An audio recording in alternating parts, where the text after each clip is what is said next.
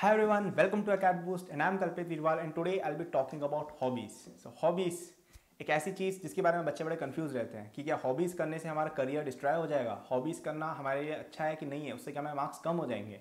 है ना? मुझे ऑलमोस्ट डेली इंस्टाग्राम पे एक डीएम आता ही आता है, जिसमें कोई बच्चा इस तरह की बात कर रहा होता है कि भैया मैं कॉलेज में या स्कूल में या जेई प्रिपरेशन या whatever he is doing and मेरे पेरेंट्स मुझे कह रहे हैं कि मुझे एक्स वाई जेड चीज़ करनी बंद कर देनी चाहिए and I should focus on my study and where that X Y Z thing is usually one thing which you can call your hobby right तो आज हम उन चीज़ों के बारे में बात करेंगे. Okay okay? तो हॉबी इंटरेस्ट होते क्या है?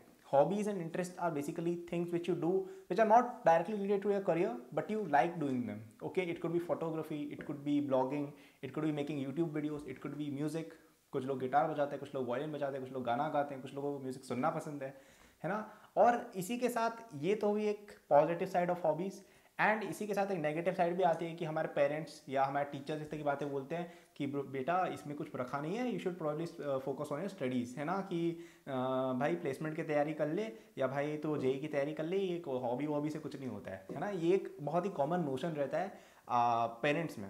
है ना? और बच्चे कन्फ्यूज़ होते हैं कि यार हॉबी करें या ना करें पढ़ाई करें तो पूरे टाइम ठीक है? तो इस तरह की बात रहती है। तो मैं अपना पर्सनल एक्सपीरियंस कुछ आपके साथ शेयर करूँगा आज। तो मैं जब बहुत छोटा था ना, बहुत छोटा like probably maybe six seventh class और something like that then I use to be a very very studious kid मतलब मैं केवल पूरे टाइम पढ़ाई करता था, ठीक है?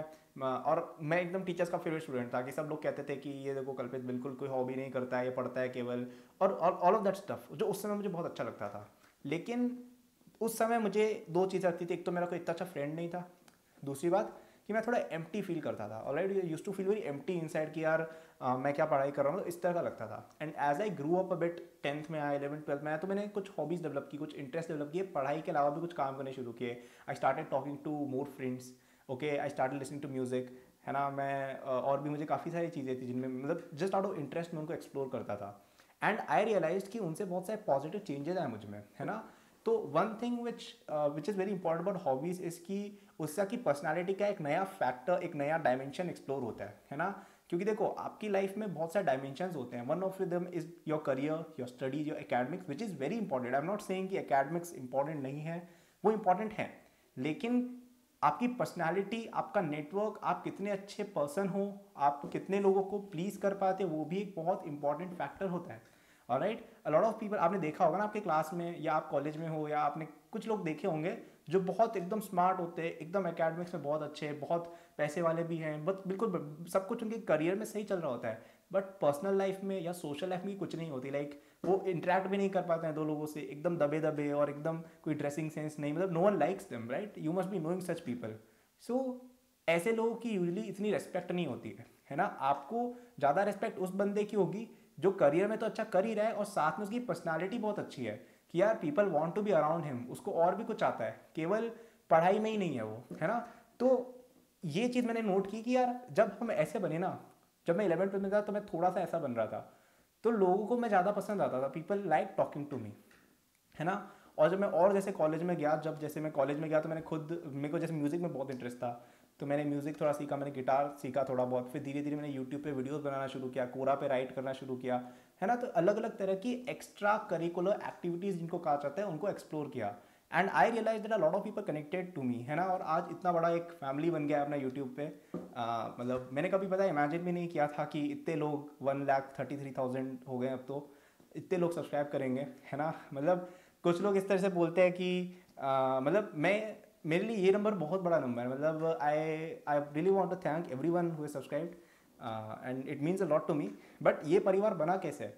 बिकॉज़ uh, मैंने उस चीज़ को एक्सप्लोर करने की कोशिश की कि मैं कुछ और भी करूँ ठीक है? मैं पढ़ाई करता था चलो अच्छी बात है। लेकिन आप लोग मेरे साथ आज क्यों कनेक्टेड हो? क्योंकि मैं आपकी पढ़ाई में कुछ कंट्रीब्यूट करने में हेल्प कर रहा हूँ मे भी मतलब मैं जो भी यूट्यूब पे बोलता हूँ मे भी आप लोगों को उससे कुछ वैल्यू uh, क्रिएट होती होगी है ना? तो आप जब लोगों के साथ कुछ शेयर करते हो एज अ हॉबी या एज एन इंटरेस्ट या पढ़ाई के अलावा कुछ उससे people really connect to you है ना? उससे आपका नेटवर्क बढ़ता है, उससे पीपल लव यू एंड उससे ही आप करियर में और आगे जाते हो, है ना? तो ये चीज़ बहुत इंपॉर्टेंट होती है। तो आई थिंक अब आप लोग समझ गए होंगे कि हॉबीज़ इतनी इंपॉर्टेंट होती है, उनसे क्या अपना बेनिफिट होता है। अब हम बात करते हैं यार कि ये तो हो गया कि यार हॉबीज़ अच्छी हैं, बहुत लोगों को पहले से पता होगा, पर भैया करे कैसे? हैं पापा मम्मी मना कर देते हैं, हमारे मार्क्स कम हो जाते हैं।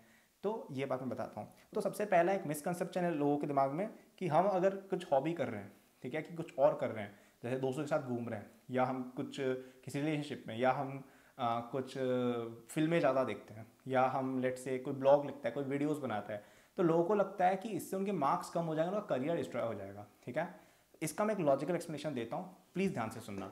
एक बात मुझे बताओ कि तुम कुछ भी कर रहे हो अभी तुम लेट से अभी तुम जेई के लिए प्रिपेयर कर रहे हो या लेट से तुम प्लेसमेंट में बैठ रहे हो एक बात बताओ कि जेई के फॉर्म में ऐसा तुम्हें कोई ऑप्शन दिखा? कि यार क्या तुम फोटोग्राफी करते हो? अच्छा करते हो, इस बच्चे को आईआईटी में नहीं लेना। ऐसा कोई बोलता है? नहीं। उल्टा ऐसा ज़रूर होता है कि कॉलेज प्लेसमेंट में अगर तुमने कुछ एक्स्ट्रा करिकुलर कर रखा है तो उसको मानते हैं कि यार ये तो ऑलराउंडर बंदा है। ठीक है? तो मेरा कहने का मतलब क्या है कि डायरेक्ट कोरिलेशन नहीं है किसी भी तरह का। लॉजिकल कोई कोरिलेशन नहीं है। बच्चे बस दिमाग में बना लेते हैं कि यार मैं तो नाच गाना करने लग गया तो मैं तो ख़त्म हो गया या मैं कुछ नहीं कर सकता। ठीक है? ऐसा नहीं होता है भाई। होता क्या है कि आपको कोई भी गोल अचीव करने के लिए एक सर्टेन नंबर ऑफ़ हार्डवर्क करना होता है। जैसे अपन को आई आई जी एग्ज़ाम क्रैक करना है, या जैसे अपन को गूगल में जॉब करनी है तो उसके लिए एक करोड़ वाला पैकेज जो होता है ना, वो। तो आपको जैसे आई जी के लिए प्रेप करनी है तो उसमें आपको क्या है 120 ट्वेंटी क्वेश्चन आएँगे आपके एग्ज़ाम में, वो आपको करने आने चाहिए। All right the moment you are able to solve those question और significant amount of those question you will automatically get selected all right तो अब उसके अंदर अगर तुमने पढ़ रखा है सब कुछ, अगर तुम्हें कॉन्सेप्ट पता है कि यार ये चीज़ ऐसी होती है, ये चीज़ ऐसी होती है तो उसमें कोई फ़र्क नहीं पड़ता तुमने इलेवन ट्वेल्व में कितनी फ़िल्में देखी, कोई फ़र्क नहीं पड़ता तुम कितना फुटबॉल खेलते थे, कोई फ़र्क नहीं पड़ता तुम किसके साथ क्या घूमे नो बड़ी केयर्स तुमने अगर वो क्वेश्चन कर लिए तो कर लिए। उल्टा बहुत सारे बच्चे ऐसे होते हैं जो बिल्कुल पूरे टाइम पढ़ते हैं इलेवन ट्वेल्थ में और फिर भी पेपर गलत करके आ जाते हैं, फालतू के प्रेशर में आके, है ना? क्योंकि इतना पढ़ रहे हैं तो प्रेशर बिल्ड होता है उससे। तो ये आपको समझना होगा कि ऐसा कुछ भी नहीं है कि अपन ने कुछ एक्स्ट्रा काम कर रहे हैं तो उससे अपनी पढ़ाई कम होगी। हाँ पढ़ाई को प्रायोरिटाइज ज़रूर करना है। पढ़ाई should always be your top most priority मतलब ऐसा कर लो ना यार, तुम दिन में लेट से चौबीस घंटे होते हैं। आठ घंटे चलो तुम सो लिए, दो घंटे इधर उधर ट्रैवल करना, तैयार होना ब्ला ब्ला ब्ला ठीक है? तुम्हारे पास अभी भी सोलह घंटे बचे हैं दिन में, ठीक है? सोलह में से चलो मान लो तीन घंटे, चार घंटे वेस्ट करें तो बारह घंटे तुम्हारे पास मिनिमम टू मिनिमम है, जो तुम्हारे यूजफुल आवर्स हैं। उनमें से आठ घंटे पढ़ाई कर लो, चार घंटे खेल लो, है ना? क्या बुराई है इसमें? या और भी तुम्हें जैसा लगे तो आठ घंटे तो चलो, ज़्यादा हो गया थोड़ा। मे बी चार घंटे पढ़ लो, चार घंटे खेल लो, ठीक है? कोई बुरी बात नहीं है ना मतलब अगर तुम चार घंटे एकदम डीपली पढ़ाई सच में कर रहे हो तो आपका हो जाएगा, कोई दिक्कत ही नहीं है। यूजली होता क्या मैं बताता हूँ। बच्चे 12 घंटे में से आठ घंटे सोशल मीडिया यूट्यूब कुछ भी चैटिंग इनमें वेस्ट कर देते हैं, ठीक है? मेरे साथ भी होता है कई बार नॉर्मल चीज़ है, आपको कंट्रोल करना आना चाहिए, ठीक है? तो वो चीज़ पे कंट्रोल जिस दिन आ गया ना, उस दिन आपके लिए पढ़ाई का भी टाइम हो जाएगा उस दिन आपके पास खेलने का भी टाइम हो जाएगा हॉबी का टाइम भी हो जाएगा, दोस्तों के लिए भी टाइम हो जाएगा, ठीक है? सो आई वुड से एक स्केड्यूल बिल्ड करो कि मैं सुबह इतनी बजे उठूँगा छः बजे उठूँगा, उठूँगी and then for four hours I will continuously study तो दस बजे तक आपकी चार घंटे पढ़ाई हो गई। उसके बाद जो करना करो ना, उसके बाद अब देखो, तुमने अगर दिन में चार पाँच घंटे पढ़ लिया ना, अच्छे से मेहनत के साथ तो तुम्हारे टेस्ट में ऑटोमेटिकली मार्क्स अच्छे आएँगे। तुम्हारे कॉलेज के जो भी एग्ज़ाम्स हैं, तुम्हारे अच्छे ऑटोमेटिकली नंबर आएँगे राइट एंड देन तुम्हारे पेरेंट्स में कुछ बोल थोड़ी सकते हैं कि यार ये तो क्या घूमने जा रहा है? तुम बोल देना कि मैं तो नंबर अच्छे आ रहे हैं ठीक है? और तुम्हें खुद भी अच्छा रहेगा कि यार मैं तो घूम भी रहा हूँ घूम भी रही हूँ मैं नंबर भी अच्छे आ रहे हैं तो एक कॉन्फिडेंस आता है है ना? सो so, और क्योंकि तुमने देखा होगा कि ऐसे बंदे की रिस्पेक्ट कोई नहीं करता है जो पढ़ के नंबर लाया। जो पढ़ के मस्ती करके नंबर लाया ना उसकी सही में रिस्पेक्ट की जाती है उसको खतरा समझा जाता है। जैसे आज इलॉन मस्क के इतना नाम क्यों है? क्योंकि वो इतने मजाकिया भी हैं मीम्स भी डालते हैं बहुत चीज़ें करते हैं फिर भी इतने सक्सेसफुल हैं लाइफ में है ना?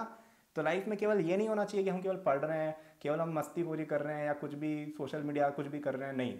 आपको अपनी पर्सनैलिटी डेवलप करनी है ठीक है? बॉडी फिट होनी चाहिए ठीक है? एक अच्छा सोशल स्किल होना चाहिए अच्छा करियर भी होना चाहिए अच्छा नेटवर्क होना चाहिए अच्छे फ्रेंड्स होने चाहिए और एक फुलफिल्ड लाइफ होनी चाहिए है ना?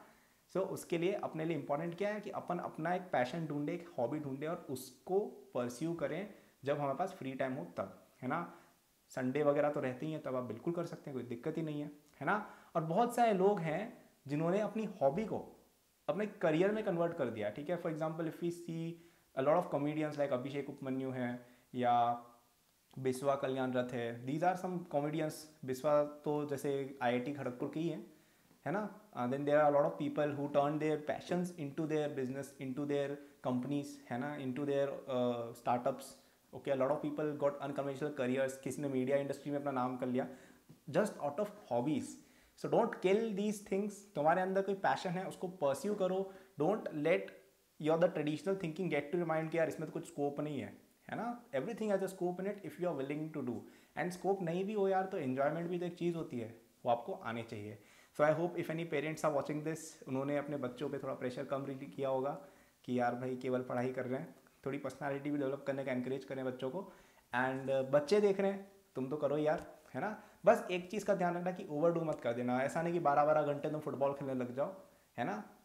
फुटबॉल दो घंटे खेलो, बाकी टाइम और भी चीज़ें हैं लाइफ में पढ़ना भी है फ्रेंड्स भी हैं फैमिली भी है, उन सब का भी देखना है। All right so I hope you like this video please let me know in the comments what you like about the video what you didn't what your hobbies are है ना? और तुम कितना घंटे क्या चीज़ करोगे? And uh, any experiences which you have had about your hobbies about your parents about any such incidents जहाँ पे तुम्हारी hobby तुम्हारे काम आई हो या जिससे तुम्हारा नुकसान हुआ है whatever just share your experiences and let me know if you want me to make another such video और anything else what your views are and if you like this video don't forget to press the like button and subscribe and हाँ अगर तुम subscribe करना चाह रहे हो ना channel को तो प्लीज़ नोटिफिकेशंस भी ऑन करना क्योंकि यूट्यूब का एल्गोरिथम अब चेंज हो चुका है और सब्सक्राइब करने से मेरी वीडियोस आपको नहीं दिखेंगी। मेरी वीडियोस आपको तब दिखेंगे जब आप मेरे लिए नोटिफिकेशंस ऑन करते हो, ठीक है? ऑफकोर्स करने तभी करना, ज़बरदस्ती कोई फोर्स नहीं है। So all the best and take care and keep pursuing your hobbies and keep on studying as well thank you